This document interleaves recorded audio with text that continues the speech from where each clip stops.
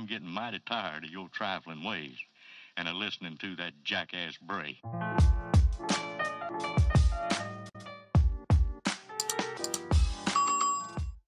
And I'm getting mighty tired of your trifling ways and of listening to that jackass Bray.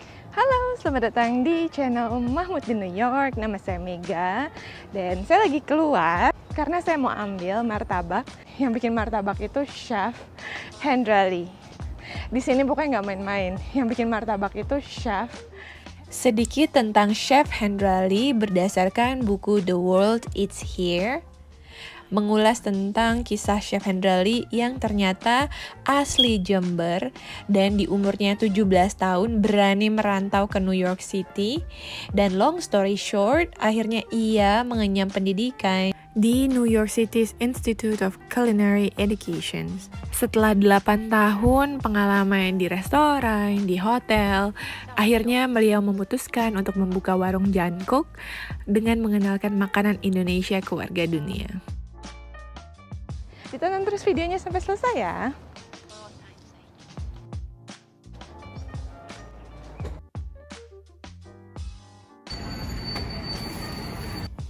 Warung Jangkuk sudah banyak banget diliput sama media-media di Indonesia atau media di New York sendiri di Amerika.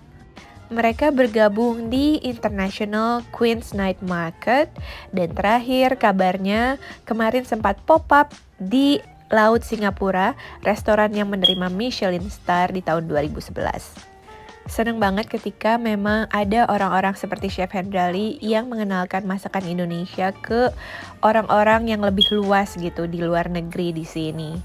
Semoga tujuan untuk mengenalkan makanan Indonesia ke warga dunia makin dilancarkan, makin sukses. Amin, amin, amin.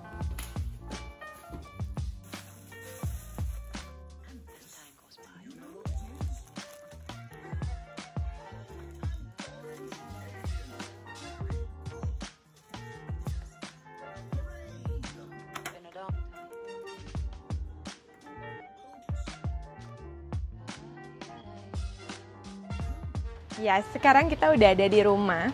Saya mau langsung nggak sabar mau cobain martabaknya. Yang pertama, yang pertama saya mau cobanya.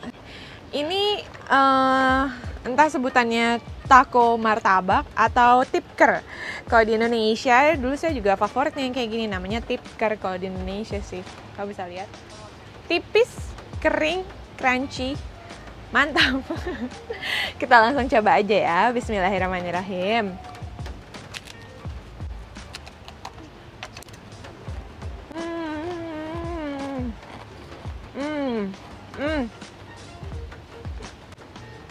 Ini tebel, garing, nggak kematangan, pas banget pokoknya. Isinya coklat sama kacang. Hmm.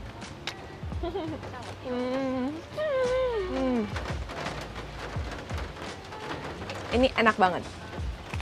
Hmm.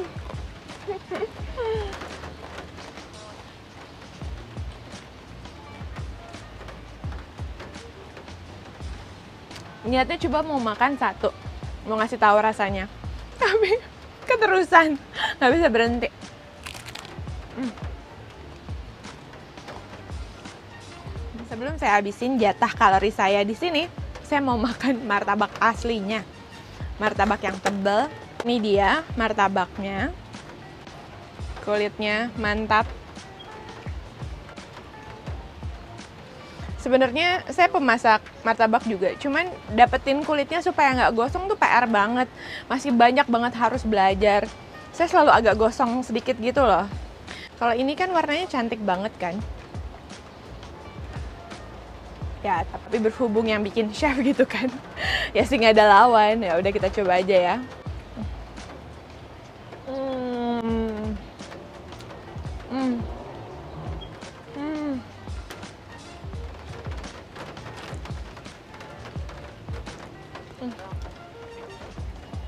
Hmm.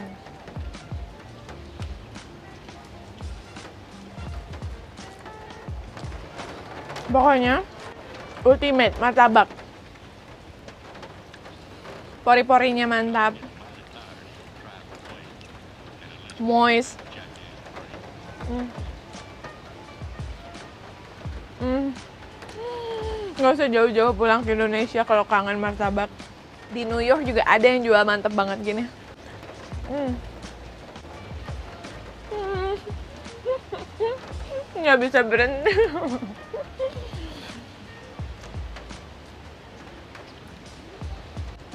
Saya suka banget martabak manis dibanding segala jenis martabak. Makanya ini enak banget. Hmm. Ini tuh legit, nyes gitu di lidah tuh lumer banget. Hmm.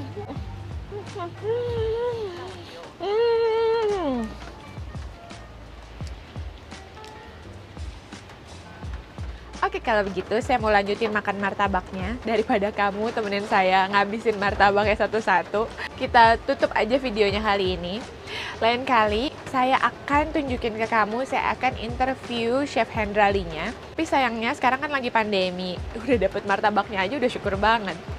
Pokoknya semoga pandemi ini segera berakhir, jadi saya bisa sharing ke kalian teman-teman Indonesia di sini yang berprestasi, yang sudah memberikan jejaknya di New York. Oke kalau gitu jangan lupa di like videonya, di subscribe buat kamu yang belum subscribe channel saya. Sampai ketemu lagi.